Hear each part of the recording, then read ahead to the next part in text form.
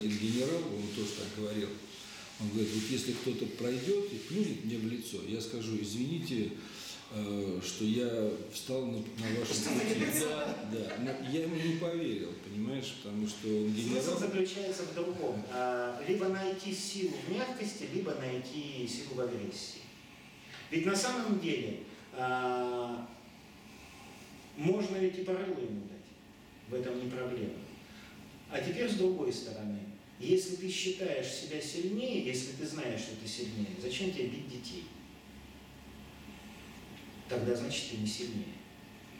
А если мы говорим о духовной работе, значит я сейчас просто говорю о духовной работе. Но я просто еще раз, еще раз, наверное, сделаю акцент, э, так же, как и Валерий Васильевич, что это настолько тяжело, потому что я не знаю тяжелее работы, чем работа над чертами своего характера. Над, э, работа над понятием смирения. То есть не в том плане смирения, как нам это представляли и говорили всегда, а смирение как аспект жизни с миром в своем сердце, с миром. Это не говорит о слабости. Если мне в морду плюнут, я не пройду. То есть я им дам немножко по печени и все. Но если это вопрос не физического действия и контакта, то я думаю, что я уже натерпелся в своей жизни много, а за счет, из-за вот этих вот физических своих собственных рукоприкладств, что я уже буду вполне адекватен для того, чтобы сказать, «Ой, парень, извини, ты сильнее. Я, это было со мной не один раз, когда я просто говорю, ты сильнее. Ты посмотри, какой ты тебе. Ну, ты, ты, ты метр девяносто, и ну, посмотри на меня, сколько мне лет, а тебе там 25. Конечно, ты здоровый парень, так что ты не ты сильнее. И это нормально. То есть доказывать уже на определенном этапе вы никому ничего доказывать не будете, потому что никому ничего доказывать. Ну, как бы, это очень тяжелый труд. Особенно мужикам. Особенно тем, кто занимается спортом, преодолением, кто привык себя чувствовать в авангарде, первым. Ну, понятно, да? И тут вдруг надо сказать, ну, извини. Ну, бывают ситуации именно с точки зрения морали. Допустим, человек поливает опять то, что тебе дорого. Морду ты ему дать не можешь. Он где-то далеко там сидит в социальной сети и поливает. Э, Не реагирует, ты тоже не можешь. Почему? Поскольку это уже, э, скажем так, не реагирует, ты понижаешь уже свою моральную планку. То есть ты позорно молчишь и позволяешь ему дальше виновным. То есть вы, вы думаете, что именно так нужно реагировать. А как же уровень вибраций именно мой, он тогда Вы понижается? понимаете, у меня столько лет, э, что э, я, для меня эта ситуация очень знакома. Э, я просто никогда не отвечаю на эти вещи.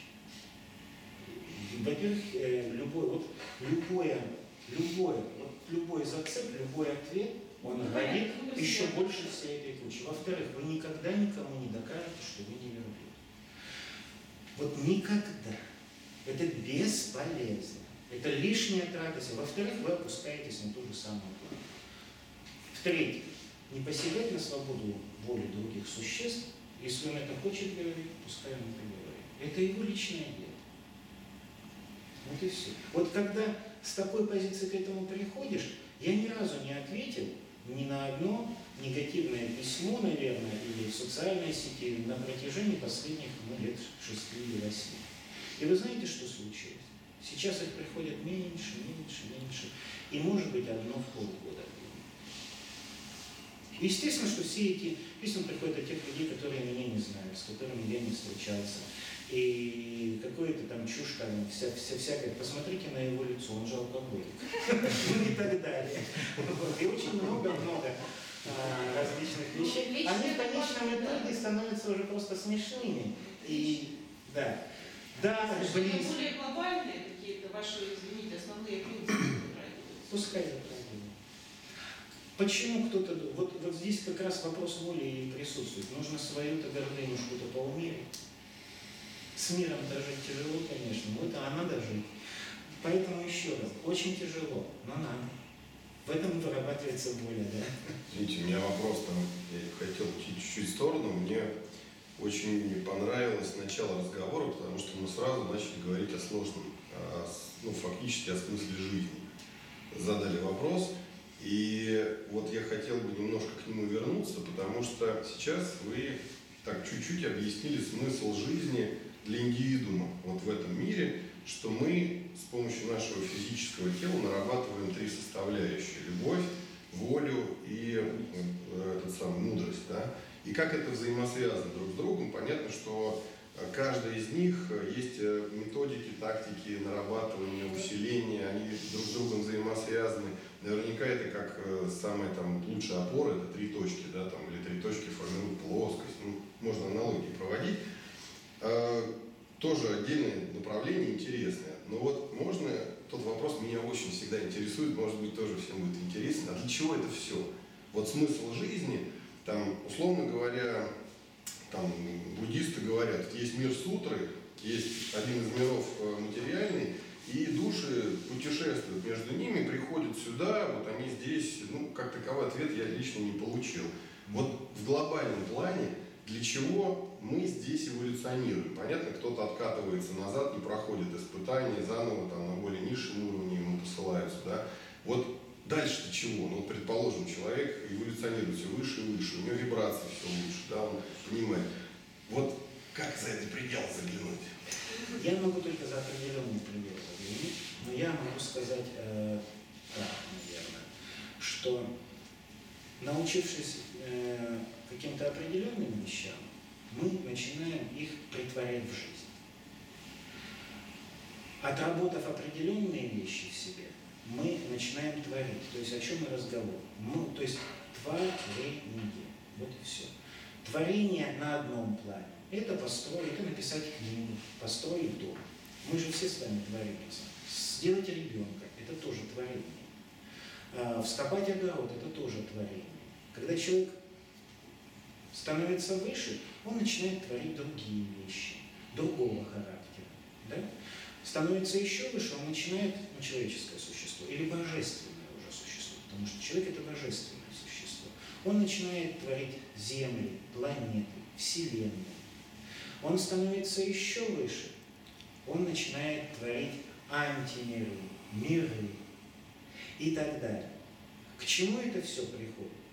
Я не могу вам сказать. Но у меня точно такой же, как у вас, был стопор. А дальше? А дальше? А потом я понял, что когда я не знал какой-то определенные вещи, я тоже так же, ну, на другом уровне думал, а что дальше? Ну, а потом, когда я шагнул сюда, я понял, что дальше, но только для до следующей. И вот я чувствую просто своим сердцем, что это правильно. Вот правильно вот так идти. Я знаю, что когда я шагну дальше, я буду видеть гораздо шире. Просто сейчас мое осознание, мое восприятие осознание, оно не готово туда дальше заглянуть. Да? Но на этом плане я уже понимаю, куда мне идти. Но то, что этот путь начал мне приносить, скажем, лет восемь, да, уже как радость, потому что когда мы-то с Валерием Васильевичем знакомы гораздо больше. Вот он-то, но потом долго не виделись. Он-то меня еще старым знает. Вот. А потом, когда однажды вот так вот работая, занимаясь, вот каждый день я там вот и что же это вот там или в состоянии, а потом я однажды, когда проснулся, и у меня вся комната вокруг меня светилась реально и горела, извините, вот не на камеру там, а тем более, ну это же для нашего внутреннего пользования, я пошел пописать, а там струя из нее энергия вот так по всему этому. Я не пьяный, ребята, не под наркотиками, понимаете, я просто проснулся. И потом это состояние начало укрепляться, это состояние начало стабилизироваться, и начал по-другому жить. Просто все, что начало происходить вокруг, начало приносить радость. От воды, от э, общения, от близких людей. И первая задача стала как раз на то, чтобы вокруг себя создать вот эту любовь, чтобы всем было в комфорте. Но я так думал, что это все просто, а на самом деле не все хотят на этом вибрировать. Многим людям им просто как воздух необходимы негативные эмоции. Они не живут, они не питаются. Ты их вытаскиваешь, вытаскиваешь. А ему это не надо, он доходит, это бросает. Я еще тогда не понимал, что это не все от людей зависит, что это ну, различные суще, сущности, которые прилипают, которые перекрывают нашу ниточку между ментальным и эмоциональным планом, которые питаются нашей низкой вибрационной, которые специально человеку подсознание да, вводят такие программы, как, благодаря которым он начинает, посредством которых, не благодаря, он начинает вырабатывать негативные эмоции, кормить эти миры негативные. Я еще не знал тогда, что есть эгрегор страданий, что есть некий искусственно созданный Бог, которому все поклоняются во многих религиях и во всем остальном. Тогда для меня это было непонятно. Это сейчас уже понятно. Но что самое главное, началась радость от каждого мгновения жизни. Вот, вот, вот и все. И потом мне стало по барабану, что там дальше. Но самое главное сейчас, самое главное, что, знаете, каждый раз повышение вот этой вибрационности, ты его чувствуешь, и тебя становится больше и больше в этом пространстве. Еще больше и больше. И еще большим людям это тоже нравится, и они тоже этого хотят. И вот эта радость, она здесь и сейчас. Да. По этому поводу вопрос. А как это происходит и о чем происходит, когда в человеке, э, человека энергия, не знаю, зашкаливает, то есть, как говорят, он начинает светиться, ни с чего, не понимая, что происходит, но он светится вот в нем откуда-то это появляется на пустом месте в неопределенный момент. Он это не контролирует, это не условно возникает. Вот просто так. Ну, во-первых, открывается центр. Человек это проводник. Давайте вот еще определенный закон такой. Человек это проводник энергии. Это не накопитель, это не аккумулятор, это проводник энергии. И открывается вот этот проводник, вдруг открываются, скажем так, заслонки, да, и через этот, через вот этот проводник начинает проходить энергия неба, ну назовем это так по-китайски, и энергия Земли. Мощнейшим, сильнейшим потоком он становится проводником. И он уже готов, он уже способен вот этот, э, эту вибрацию мощную через себя пропустить. То, что мы сейчас с вами делали, вот там, ну, вот я говорил, да, вот, вот такой образ, это вообще самое начало. А когда ты берешь и подключаешься к вибрации высших астральных планов там, и к, к любви Земли, не тянешь из нее требуя, а отдавая ей любовь и благодарность, и получая назад такую волну, что тебя выхлестывает, а туда и назад так тоже благодарность и любовь туда. Ничего ты не просишь, там, дай мне Боженька, там то-то, то-то. Все только и ходят, что просят. А ты туда всю любовь своего сердца направляешь и благодаришь за то, что они есть, за то, что вообще все есть, за то, что они помогают, за то, что они присутствуют. И назад получаешь такую волну в 10 раз больше, вот тебя как пробивает, а потом уже ты закрепляешься на мысли, и тебя это все мощнее, мощнее, мощнее. А некоторых людей искусственно пробивает. Они уже готовы. И вдруг раз планки, это называется, как Валерий Васильевич говорит, озарение. Озарило. Представляете? То есть все. Вот это и есть озарение по сути, ключик, если человек внутри чувствует себя действительно благодарность, за, вот, просто так, ни к чему Это и ни за что, начинаются вот эти вот э, потоки. Ну, э, начинаются, но уже человек начинает выше вибрировать. И он уже способен, смотрите, что внутри, то и снаружи. Если ты начинаешь выше вибрировать и удержишься в этом состоянии, я вот почему говорю, что потом перестает это все быть, потому что э, вокруг меняется мир, и к тебе приходят те люди, ты общаешься с теми людьми, которые вибрируют или идут по тому же самому пути. Понимаете, алкоголик, он всегда будет с алкоголиками, наркоман, он будет с наркоманами. Те, кто постоянно в негативных эмоциях, они будут постоянно с такими же, потому что они друг друга цепляют. Агрессия ведь может возникнуть только в том случае, вернее, агрессия, когда она на что наткнется? На агрессию, конечно. А на самом деле причина агрессии – это страх. Агрессия не от силы, агрессия всегда от страха. А если нет страха, а если по барабану агрессия, агрессия не находит, на что в тебе наткнуться, потому что ты вот здесь, а они вот здесь.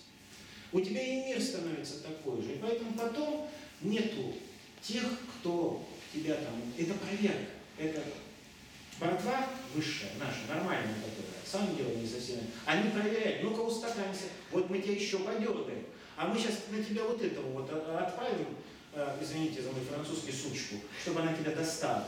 Это там поливает, достает. А, мало тебе это? Сейчас мы тебе в медцентре еще такого массажиста дадим, что тебе хромать потом три недели будешь. Посмотрим, будешь ты улыбаться или.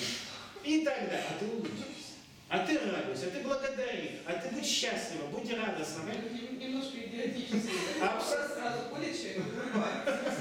Полный идиотизм, я совершенно согласен. Но на начальном этапе так и бывает. Но ведь э, научиться не уничтожать себя низ- низкими эмоциональными состояниями, без этого никак. Ну, никак. Зато потом, это же я общее говорю, на самом деле это конкретные техники. То есть вот тут же, рабочие тут же. Когда тебе раз, ты раз делаешь, у тебя все там вот так, вот так. Вот. Мы же просто с вами пока просто разговариваем. Суть вопроса. Но суть вопроса была как раз, вот э, вы упомянули, что есть там борьба добра, добра и зла, есть там, условно говоря, положительные силы, есть там твари, серые там, и все остальные, да. Вот ради чего? То есть Я каждый понял. свой лагерь отбирает души, чтобы потом, не знаю, там, на каком-то другом уровне сойтись. Или Нет, чтобы построить все- миры как раз, миры, Вот как раз антимиры. я и говорю, что вот отсюда выходят самые творцы самого высокого уровня. И вот эти вот, как раз вот, эти- вот эти вот серые, да, назовем, серые это шестерки на самом деле. Серые шестерки рептилоидов. Они их уже давно, давно поработили, поэтому там все нормально. Вот. А, поэтому это не дурдом, ребят, честно. Я сегодня из психушки сбежал. Братва живет под землей. Выходите из тела, учитесь, ныряйте туда, только не, не сами просто так. Потому что они там за этим очень хорошо следят. Можно попасть очень жестко. Вот. Они дают здесь, вот их задача создать нам такую жизнь, чтобы мы выжили. И уже выше настолько отработанными, настолько мощными, что мощнее, чем у нас здесь в школе, нету нигде. Это типа Гарварда, только в нашей Вселенной, вот. Поэтому, собственно говоря, их никто и не уничтожает. Они просто должны выполнить свою сущность, свою задачу. И в эту же задачу входит вот эта ложь, вот эта вот вся, вот весь тот ужас, которым, который мы с вами видим. Но есть один способ начать радоваться и здесь создать рай. Вот то, что здесь создать, как жить и по совести, жить и справедливо, жить по чести, иметь достоинство, ну и так далее. Не поддаваться на различные провокации. А пока поддаемся, провокации будут делаться. А перестанем поддаваться. Раз, два, а потом не будет. Вот. вот это как бы для этого. Что дальше, я уже ответил. Да, я знаю какие-то определенные вещи. Вот сейчас для меня это ступенька. Я знаю, что дальше будет. Я знаю, что дальше. Я знаю, на каких планетах я рождался. Я знаю, ну, в солнечных системах, сколько. Последних э, шесть своих жизней здесь открылись. Но они открываются, когда человек повышает свою вибрационность. И я не рекомендую идти куда-то на какие-то гипнозы там или еще что-то для того, чтобы там родить в себе это все. Ребята, все должно быть естественно. Это равносильно тому, что взять, давай один говорит тебе, спорим, я тебя посажу за 10 минут на шпагат. И он посадит на 10 за 10 минут на шпагат. Но только ты потом так на этом шпагате будешь ходить. Понимаете? А, а ты возьми, естественно, сам там через полгода сядь на эту шпагат. Так ты же выработаешь волю. Или другой говорит, я все твои кармические эти уберу. Как? Ну, по- поняли, да? Да, все твои. Ребята, воля-то не выработается, их нужно убирать самому. Это так же, как давай я э, в школе, да, давай я за тебя экзамен сдам, там, напишу тебе все. Ну, тут-то ты сдашь, а перед им-то ты не сдашь. Поэтому это все глупости, А конечно. практически вот вопрос тогда, если можно, еще про золото, там, алмазы как источник энергии, темная сторона Луны, лунополая, там, в, этой, в этом смысле, что да, мы здесь для того, чтобы собирать эти полезные ископаемые, именно поэтому это очень ценно, да, и для использовать в качестве там, защиты от солнечных лучей для определенных сущностей и энергию там, углеродов э, кристаллической решетки алмаза. Да. Ну и что? Ну, не знаю, может, пару слов скажете в этом смысле. Я Это часть, скажу чуть с другой стороны, вам будет интересно. часть цепочки, вот как раз вот этой вот. Конечно. Может быть, одни пытаются поработить, другие пытаются Ну, это само собой, это же борьба за энергию. Везде на физических планах идет борьба за энергию. На низших астральных планах тоже борьба за энергию. Почему? Потому что в этом суть низших астральных планов. Все. И только в них мы и выковываемся. А теперь смотрите, чем отличаются низшие астральные планы от высших астральных планов? В низших астральных планах закон – это страх. Ну, понятно, страх рождает любое негативное эмоциональное состояние. А в высших астральных планах это любовь. Вот и вся разница. Теперь смотрите, любовь имеет такую же, такую же функцию, как и страх. То есть, ты отдаешь свою любовь кому-то, тебе возвращается в 10 раз больше. Да, даже не арифметическая, а геометрическая прогрессия. То есть, вот смотрите, свечка, вторая свечка, эта свечка зажжена. Зажигаешь вот эту свечку, две свечи горят. Огня стало больше, ой, вернее, света стало больше? Стало. Огня уменьшилось? Нет. Итак, мы с вами зажигаем 10 свечек, огня не уменьшилось, а света стало больше. Это закон, закон мира, скажем, да, вот, вот. Ты больше даешь любви и больше получаешь. И другой закон мира. Ты больше даешь ненависти и больше и ненависть же эту и получаешь. И будешь до такой степени получить, пока будешь давать ее. Ты пока будешь давать любовь, ты будешь любовь получать. Вот. Теперь смотрите такой момент. Это вот то, что касается вот этих вот планов. Дальше. Душа э, начинает свою эволюцию. И здесь очень важно относиться ко всем существам. Каждое существо имеет свои функции. И серые имеют свои функции. И рептилоидные различные, вот эти все, они тоже имеют свои функции. И эти функции направлены у всех, что у тех, что у тех, только на эволюцию. Они создают условия, невозможные для нас, чтобы мы максимально быстро эволюционировали и становились наиболее мощными бойцами, воинами и создателями. Чем жестче тренировки, вы же знаете, да, тем больше ты становишься. Ты своего этого учителя убить готов там, уже не можешь там пять часов в подаче стоять. Сознание три раза терял уже, например, да? А потом ты понимаешь, что это для тебя такое он дал, что он тебе сделал. Как и учитель, учительница, ну, предположим, химии, которая гоняла, тебе ты химия, химия нафиг не нужна была. Вот, гоняла, гоняла, в конечном итоге догоняла, что у тебя до сих пор знания остались, и тут пригодилось. Или литература. Лучший учитель тот, который... Так и здесь, это наши учителя. Мы же ко всем должны относиться как к нашим учителям и к нашим детям, и тем более к этой братве. И Почему же вот э, наша душа, она имеет несколько индивидуальностей. Ну, сейчас не буду это все, но вот мы, вот то, что здесь, только в этом физическом теле, есть еще несколько частей, которые также либо воплощены, либо не воплощены. Ну или с другой стороны, а почему вы думаете, что мы не воплощались в рептилоидной? Или в другой? И точно так же мы долбили, мы делали свою функцию на основе того понимания, которое в нас заложено. Вот и все. То есть каждое действие, которое происходит, если мы говорим о божественной силе, о силе Всевышнего, так все происходит только под его надзором. Иначе нет смысла в мире. И Люцифер – это лишь проявление, это куратор материального мира, который курирует его по закону Всевышнего. Сатанин проявляет материальное по закону Всевышнего. Дьявол дает свободу выбора. Потому что, если вы вспомните даже классиков наших, Булгакова или Библию, разве где-то э, дьявол посягал на свободу воли хоть кого? У Булгакова того же. Волан разве посягал? Он же что делал? Он же предлагал. А уж твое дело, а искушение Христа в пустыне. Разве кто-то посягал на свободу воли Христа? Нет, ему сказали. Ну, три раза предложили.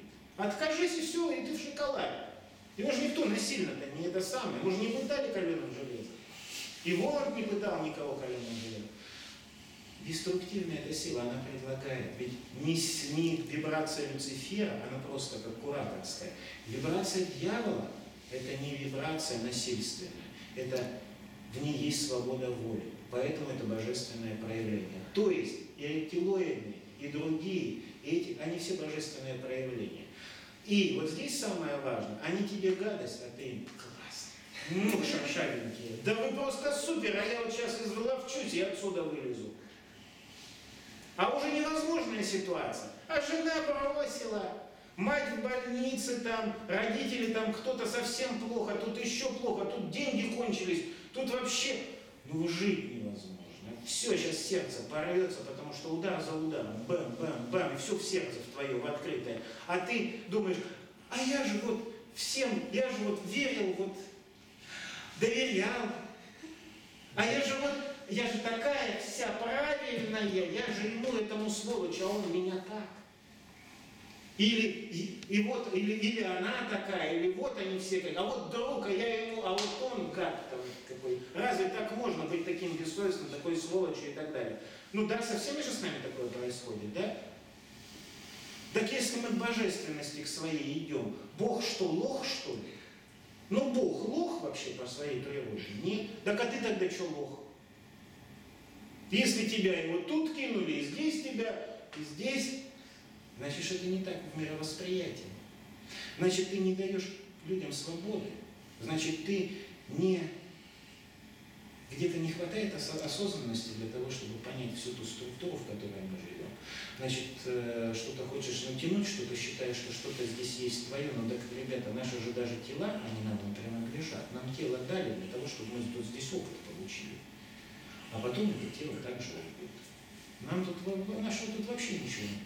Но это же не говорит о том, что мы не должны любить любимых женщин своих, что мы не должны любить своих детей, что мы не должны любить своих родителей, что мы не должны со- социально приносить пользу каждый на своем месте.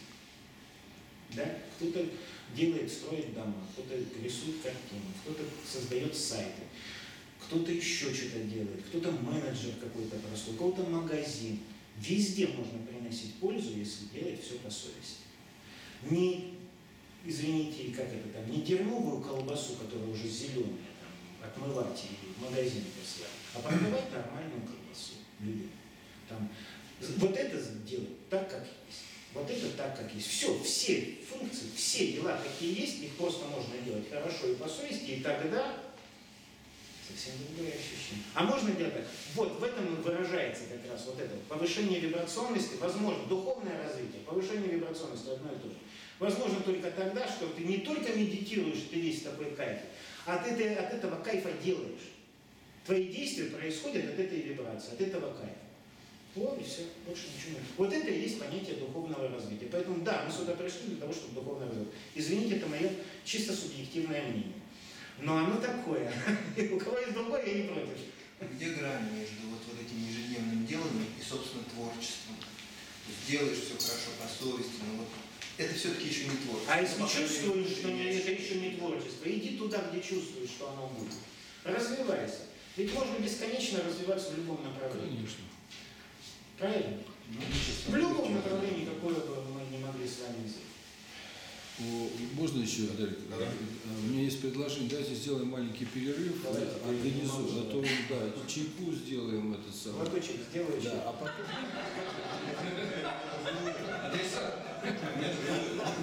Вот недалеко совершенно вы можете съездить, почувствовать вибрации, которые идут от него.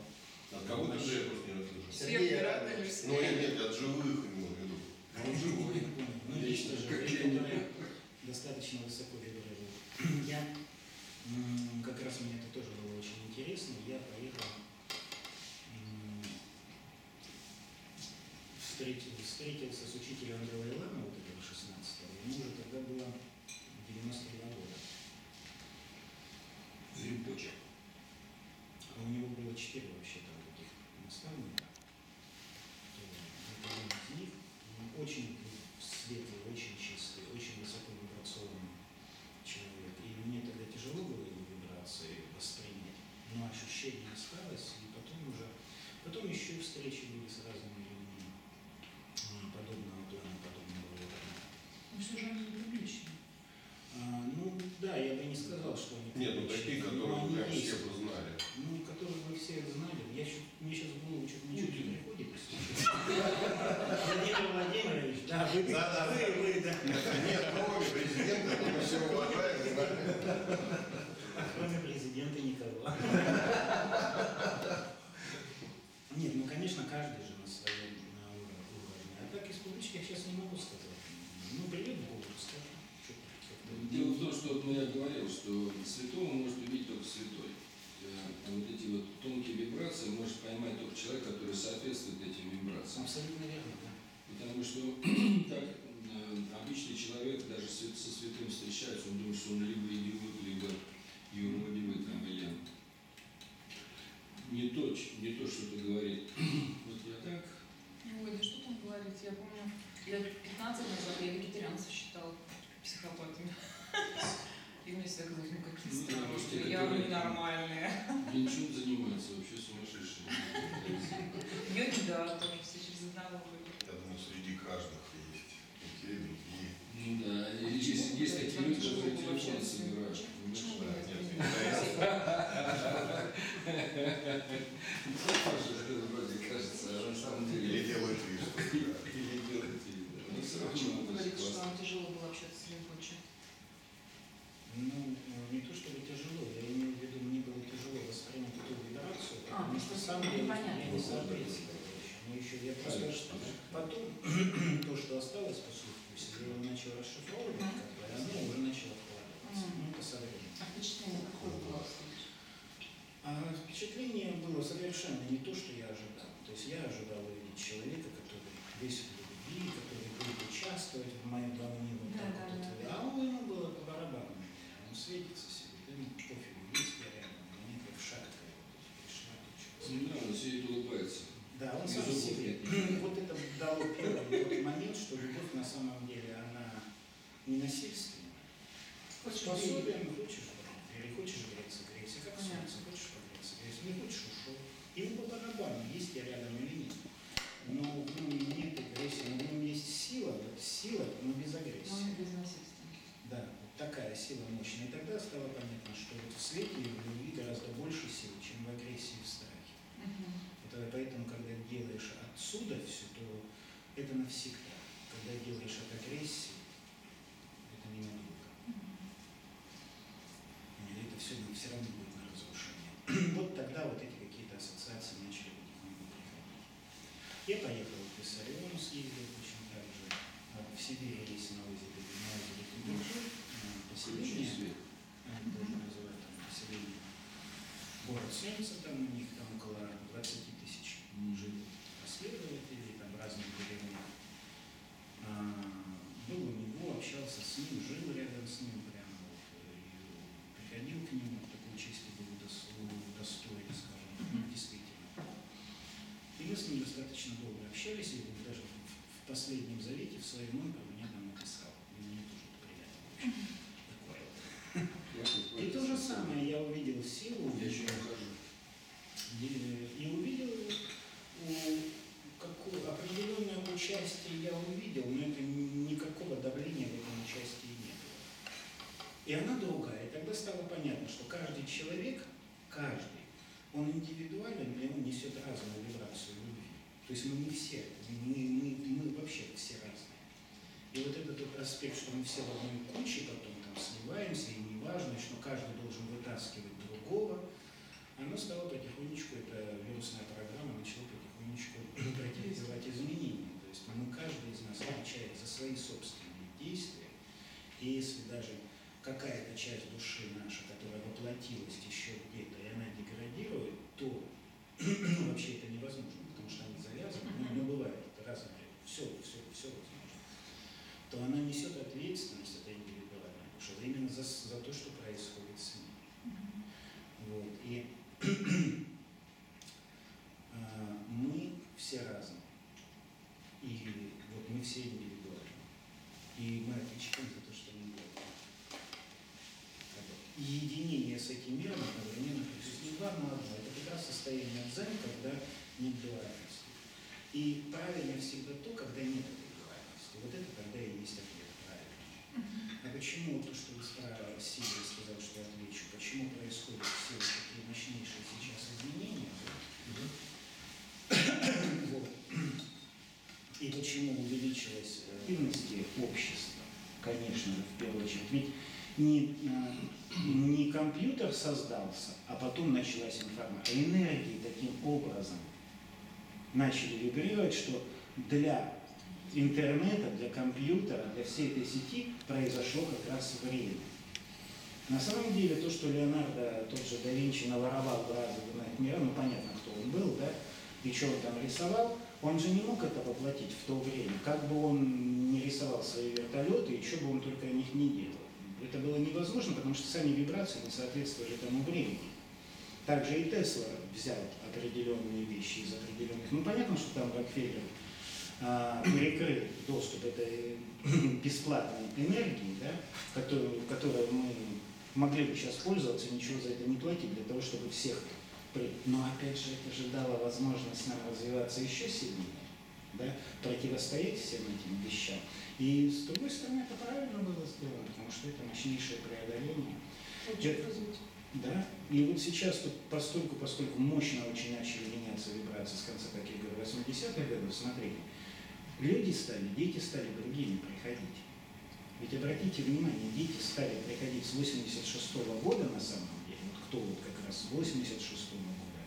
Я наблюдаю это по своим детям, по своей дочери, она в 87 В них уже заложены, они еще не работают, но в них уже заложены те вещи, которые мы, например, вот, Валерий Васильевич, там, я точно вот там какие-то моменты, да, через пот и кровь мы этого добивались. А в них, вот я смотрю, а у них уже это дано, только вот правильно, чуть-чуть тыкни, и он уже пошел. А у нас этого не было, нам это нужно было через усилия в себе рождать, через усилия идти. И это только благодаря вот этим вот изменениям вибра- вибрационности всей, не только нашей планеты, но нашей Солнечной системы всей, и нашей галактики. Она входит в другую вибрацию, более высокую. И постольку, поскольку она входит, для того, чтобы выжить, необходимо самому соответствовать.